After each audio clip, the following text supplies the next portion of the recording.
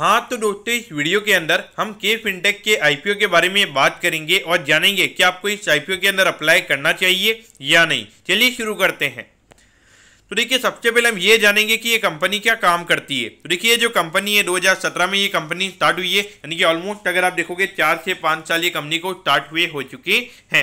तो देखिए जो कंपनी है कंपनी फाइनेंशियल सर्विसेज़ प्रोवाइड करवाने का काम करती है। तो मेनली अगर आप देखोगे, अगर आप बहुत टाइम से अगर, यानी कि चार पाँच साल से अगर आप आईपीओ में एप्लीकेशन लगा रहे हो तो आपने देखा होगा कि बहुत सारी आईपीओ के जो अलॉटमेंट का जो स्टेटस होता है, वो आपने इसी की वेबसाइट पर जाके देखा होगा। अगर हम देखेंगे, अगर इसी साल अगर हम इन्होंने, जो जो आईपीओ इन्होंने ने मैनेज किए। तो अगर आप देखोगे एलआईसी का जो इतना बड़ा आईपीओ था, वो इसी कंपनी ने मैनेज किया था और इसका जो अलॉटमेंट स्टेटस है, वो आपने इन्हीं की वेबसाइट पे जाके देखा होगा। उसके अलावा अगर हम रिसेंटली अगर हम बात करेंगे तो रिसेंटली ये कंपनी ने इलेक्ट्रॉनिक मार्ट के आईपीओ को भी इन्होंने मैनेज किया है और उसके अलावा ग्लोबल हेल्थ जो कि मैदान था, ये जो ब्रांड का आईपीओ था, वो भी ये कंपनी ने ही मैनेज किया है। तो मोस्टली अगर हम देखेंगे, जो भी बड़े बड़े आईपीओ होते हैं, यानी कि नॉर्मली अगर आप देखोगे हज़ार करोड़ से बड़े बड़े जो भी आईपीओ होते हैं, वो नॉर्मली ये कंपनी हमें करती हुई नज़र आती है। अगर हम देखेंगे, पिछले साल अगर देखोगे एप्टस वैली हाउसिंग फाइनेंस हो गया केम प्लस चनमार हो गया फिर एस कार्ड का भी इन्होंने आईपीओ मैनेज किया था। तो नॉर्मली अगर आप देखोगे जितने भी बड़े बड़े आईपीओ इंडिया के अंदर आए हैं तो वो वो, कहीं ना कहीं इसी कंपनी ने मैनेज किए हैं। यहाँ पर अगर हम देखेंगे तो ऐसा नहीं है कि ये कंपनी आईपीओ को मैनेज करने का ये कंपनी काम करती है। उसके अलावा अगर आप देखोगे तो बहुत सारे जो एनसीडीज आते हैं, यानी कि जो नॉन कन्वर्टेबल डिबेंचर्स आते हैं तो उसे भी ये कंपनी मैनेज करने का काम करती है। उसको भी लिस्टिंग वगैरह करवाना, उसका भी अलॉटमेंट स्टेटस वगैरह जो भी होता है, वो ये कंपनी मैनेज करने का काम करती है। अगर हम देखेंगे तो यहाँ पे म्यूचुअल फंड को भी यहाँ पे ये इन्वेस्टर सॉल्यूशन प्रोवाइड करवाने का ये कंपनी काम करती है। अगर हम देखेंगे तो अभी लगभग 301 फंड को ये कंपनी मैनेज करने का काम करती है। और लगभग अगर हम देखेंगे तो उसमें जो 192 एसेट मैनेजर्स हैं तो उनको ये कंपनी अभी सर्विस प्रोवाइड करवाने का काम कर रही है। अगर हम देखेंगे तो इंडिया के अंदर अगर हम ए के बेसिस पर अगर हम बात करेंगे तो इंडिया के अंदर सबसे बड़ी कंपनी यहाँ पे हमें ये इन्वेस्टर सॉल्यूशन प्रोवाइडर्स के अंदर हमें यहाँ पे ये कंपनी नज़र आती है। उसके अलावा अगर हम देखेंगे तो यहाँ पे ये अकेली ऐसी कंपनी है जो कि जो म्यूचुअल फंड्स होते हैं, जो ए होते हैं तो उन्हें ये सर्विस प्रोवाइड करवाने का ये काम ये अकेली कंपनी हमें करती हुई नज़र आती है। इसके अलावा कोई और ऐसी कंपनी नहीं है जो यहाँ पे जो ये, जो इन्वेस्टर सोल्यूशन वाली जो सर्विस है, वो यहाँ पे प्रोवाइड करवाती हुई म्यूचुअल फंड इनको नज़र आती हो। उसके अलावा अगर हम देखेंगे तो ये कंपनी की अगर हम बात करेंगे तो यहाँ पे जो सेंट्रल की जो रिकॉर्ड कीपिंग होती है, यानी कि जो एनपीएस वगैरह का जो रिकॉर्ड कीपिंग का काम होता है, वो भी ये कंपनी करने का काम करती है। ये मत समझिएगा कि सिर्फ़ आईपीओ से रिलेटेड ये कंपनी काम करने का काम करती है। उसके अलावा भी, लेकिन जो मेजोरिटी ऑफ़ रेवेन्यू की अगर हम बात करेंगे तो यहाँ पे आईपीओ जो आईपीओ वगैरह आते हैं, जो एक तरीके से एनसीडीज वगैरह आते हैं तो उससे रिलेटेड यहाँ पे कंपनी का रेवेन्यू आता है तो आपको एक बात समझनी चाहिए कि अगर सपोज़ अगर एलआईसी ने अभी आईपीओ लेके आई थी एलआईसी तो उसके बाद में अगर फ्यूचर में अगर एलआईसी को राइट इशू के फॉर्म में अगर पैसा रेज करना है तो वहाँ पर ये कंपनी एलआईसी को हेल्प करती हुई नज़र आएगी। तो उस पॉइंट ऑफ़ अगर आप देखोगे तो एक लॉन्ग टर्म कॉन्ट्रैक्ट यहाँ पे कंपनी के साथ में बनता है। तो उस पॉइंट ऑफ़ अगर आप देखोगे, अगर ये LIC को अगर डिविडेंड देना है तो वहाँ पर भी कंपनी का रोल काफ़ी अच्छा रहता है, जो कि डिविडेंड सबको टाइम पे पहुँचना चाहिए। तो उस पॉइंट ऑफ़ व्यू देखा जाए तो एक business model point of view अगर हम देखेंगे, काफ़ी अच्छा यहाँ पे एक लो ऑपरेटिंग कॉस्ट वाला मॉडल हमें यहाँ पे नज़र आता है और जहाँ पे ग्रोथ अपॉर्चुनिटीज़ हमें यहाँ पे काफ़ी ज़्यादा नज़र आती है। अब अगर हम यहाँ पे ऑब्जेक्टिव की अगर हम बात करेंगे तो देखिए यहाँ पे आईपीओ से जितना भी पैसा है, यहाँ पे सारा जो कंपनी के प्रमोटर्स हैं एक तरीके से प्राइवेट इक्विटी इन्वेस्टर हमें यहाँ पे वो नज़र आते हैं। तो सारा पैसा उन्हीं के पास में जाने वाला है यहाँ पे कोई भी पैसा कंपनी के पास में नहीं जाने वाला है। तो देखिए, वैसे भी यहाँ पे कंपनी को कोई कैपिटल की रिक्वायरमेंट नहीं है, काफ़ी लो ऑपरेटिंग कॉस्ट वाला बिज़नेस मॉडल हमें यहाँ पे नज़र आता है और कंपनी हमें काफ़ी अच्छी प्रॉफिटेबिलिटी में नज़र आती है। अगर हम देखेंगे तो इस बार, अगर इस बार की प्रॉफिट की अगर हम बात करेंगे तो लगभग डेढ़ सौ करोड़ से भी ज़्यादा का नेट प्रॉफिट का नंबर यहाँ पे कंपनी का ये पूरे फाइनेंशियल फाइनेंशियल ईयर में हमें होता हुआ नज़र आ सकता है। अब अगर हम कंपनी के फाइनेंशियल्स के बारे में अगर हम बात करेंगे तो देखिए फाइनेंशियल से पहले यहाँ पे जो जनरल एटलांटिक सिंगापुर फंड है, ये कंपनी के प्रमोटर्स है, यानी कि जो पूरा कंपनी का स्टेक है, वो इन्हीं के पास में हमें यहाँ पे नज़र आता है। मेनली अगर हम देखेंगे अराउंड सेवेंटी फोर परसेंट का स्टेक है, और बाकी थोड़े बहुत और इन्वेस्टर्स है, लेकिन यहाँ पे जो पंद्रह सौ करोड़ का जो कंपनी का ऑफ़र फॉर सेल है, वो पूरा पैसा यहाँ पे इसी कंपनी के पास में जाने वाला है। अब अगर हम रेवेन्यू की अगर हम बात करेंगे तो देखिए यहाँ पे 164 करोड़ के लगभग कंपनी के रेवेन्यू के नंबर थे। उसके बाद में अगर हम देखेंगे तो 455 करोड़ के लगभग ये नंबर आया था, फिर 486 करोड़ के लगभग आया था, और उसके बाद अगर हम देखेंगे तो ये छह महीने का नंबर हमारे को यहाँ पे दिया हुआ है, लेकिन हम यहाँ पे एक साल के नंबर को देखेंगे, और ये नंबर हमें यहाँ पे सिक्स करोड़ पे नज़र आता है डेफिनेटली अगर आप देखोगे तो 645 करोड़ का रेवेन्यू का नंबर ये काफ़ी बड़ा रेवेन्यू का नंबर हमारे सामने नज़र आता है। और अगर हम ग्रोथ वाइज अगर हम बात करेंगे तो यहाँ पे प्रॉफिटेबिलिटी की भी अगर हम बात करेंगे तो 148 करोड़ के लगभग का नेट प्रॉफिट हमें यहाँ पे कंपनी का नज़र आता।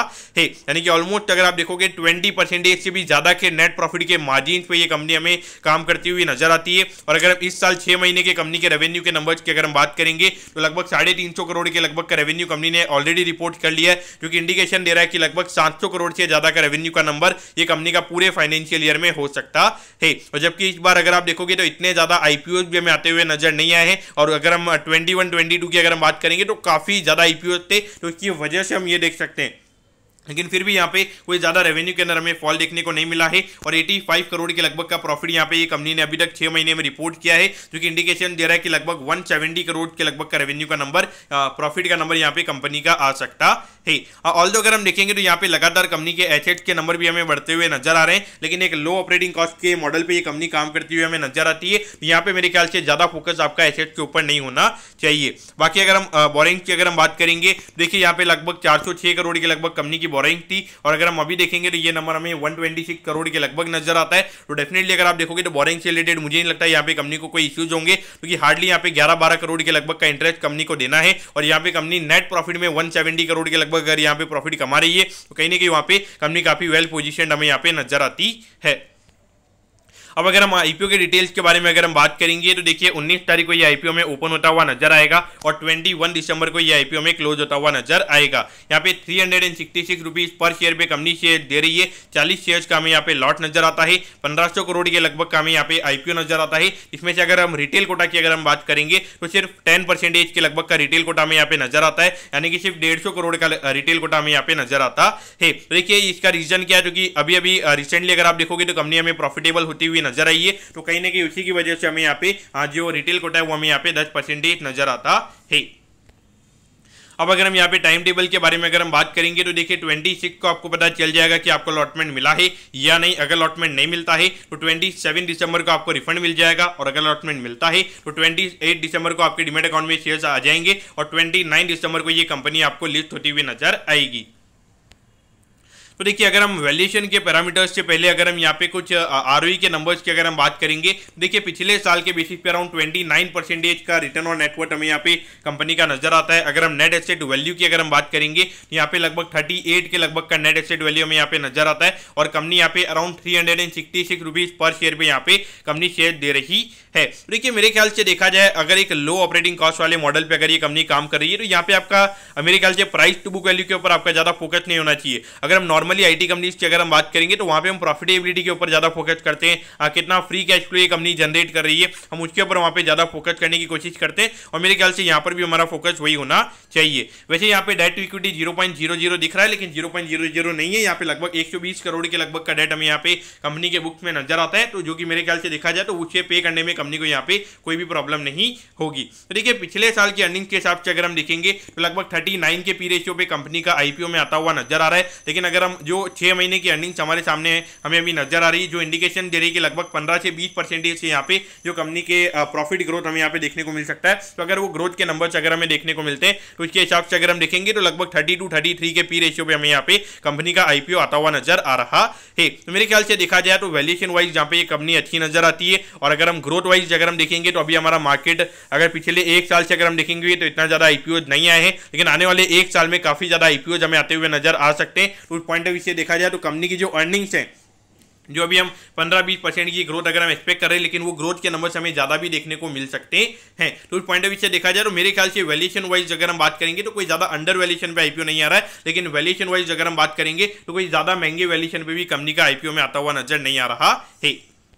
अब अगर हम यहाँ पे मिनिमम एप्लीकेशन की अगर हम बात करेंगे तो देखिए रिटेल कैटेगरी के अंदर आप एक लॉट की एप्लीकेशन लगाने के लिए कट ऑफ़ प्राइस पे fourteen thousand six hundred and forty rupees लगेंगे और मैक्सिमम रिटेल कैटेगरी के अंदर आप सिर्फ़ तेरह लॉट की एप्लीकेशन लगा सकते हो। जिसके लिए one lakh ninety thousand three hundred and twenty rupees लगेंगे। अगर स्मॉल एच एन आई की अगर मैं मिनिमम एप्लीकेशन की अगर मैं बात करूँगा, यहाँ पे लगभग दो लाख चार हज़ार नौ सौ साठ रुपये आपको यहाँ पे लगेंगे, अगर आपको स्मॉल एच एन आई में अगर एक एक मिनिमम एप्लीकेशन अगर आपको यहाँ पे लगानी है तो। तो देखिए मेरे ख्याल से अगर देखा जाए तो एज अ होल यहाँ पे कंपनी का आईपीओ मुझे अच्छा नज़र आता है। और अगर देखा जाए तो उसी टाइम पे यहाँ पे एक दो मेन बोर्ड आईपीओ हमें और ओपन होते हुए नज़र आएँगे। तो कहीं ना कहीं देखा जाए तो वहाँ पे वैसे वो आईपीओ कैसे आते हैं, उसके हिसाब से मार्केट का इंटरेस्ट यहाँ पे बनता हुआ नज़र आएगा। लेकिन यहाँ पर अगर आप देखोगे तो रिटेल कोटा सिर्फ़ टेन परसेंटेज है। मैं नॉर्मली जो रिटेल कोटा जिनका टेन परसेंटेज होता है, वो आईपीओ मुझे काफ़ी अच्छी नज़र आते हैं। क्योंकि वहाँ पे इतनी ज़्यादा लिक्विडिटी मार्केट में जब लिस्टिंग होती है तब नहीं होती है। और अगर कंपनी की डिमांड अच्छी होती है तो वहाँ पे लिस्टिंग गेन पे जनरली दस से पंद्रह परसेंटेज का जो गेन होता है, वो हमें बनता हुआ नज़र आता है। तो पॉइंट ऑफ़ व्यू से देखा जाए तो मेरे ख्याल से तो ये कंपनी एज होल अच्छी नज़र आती है। मेरे ख्याल से अभी ग्रे मार्केट प्रीमियम के हिसाब से मैं नहीं देखूँगा। अभी हार्डली कोई ग्रे मार्केट का प्रीमियम आ रहा है, क्योंकि जो यूनिपार्ट इंडिया की जो लिस्टिंग हुई है वो इतनी अच्छी लिस्टिंग नहीं हुई है। उसके बाद से सारे मेन लाइन आईपीओ की अगर आप बात करोगे तो यहाँ पे काफ़ी ज़्यादा डिमांड हमें कम होती हुई नज़र आई है। तो मेरे ख्याल से लिस्टिंग इन वालों को यहाँ पे ये आईपीओ को अवॉइड करना चाहिए। लेकिन अगर लॉन्ग टर्म माइंड पॉइंट अगर देखा जाए, पाँच से छः महीने की अगर आपकी होल्डिंग कैपेसिटी है तो वहाँ पर मुझे डेफिनेटली लगता है कि पंद्रह से बीस परसेंटेज के जो गेंस है, वो यहाँ पे आपको ये कंपनी में बनते हुए नज़र आएँगे। तो दोस्तों, मैं होप करता हूँ कि के फिनटेक के आईपीओ के बारे में आपको सब कुछ पता चल गया होगा। अगर आपकी कोई भी क्वेरीज है, आप कमेंट कीजिए, मैं ज़रूर आपके कमेंट पर रिप्लाई करूँगा। ओके दोस्तों thank you have nice day